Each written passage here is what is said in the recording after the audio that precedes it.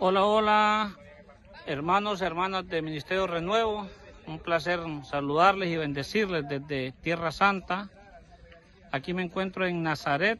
estamos en la comunidad de Bacá y estamos a la orilla del mar de Galilea. En este lugar donde me encuentro es donde se dio la pesca milagrosa de Pedro. Y bueno, eh, nos están narrando los guías y, cuál se, encuentra en la palabra del Señor en la Biblia, que Jesús vino y encontró a Pedro con otros acompañantes eh, tirando la red.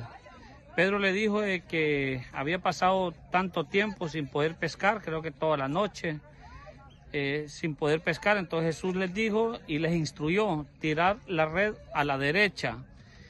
Y entonces después se acercaron a este embarcadero, aquí donde están estas piedras atrás de mí, y recogieron la red. Y se asombraron cuando la red venía llena de todos los eh, peces que había atrapado cuando ellos habían estado solos tanto tiempo sin poder pescar. Después se sentaron a la, a la mesa, que es una piedra que está aquí como, como símbolo de una mesa. Está en el interior de esta, de esta capilla que, que miren ahí. Ahí les comparto la fotografía después también, que ya le tomamos, donde designaron como mesa para desayunar eh, del mismo pescado que habían eh, agarrado.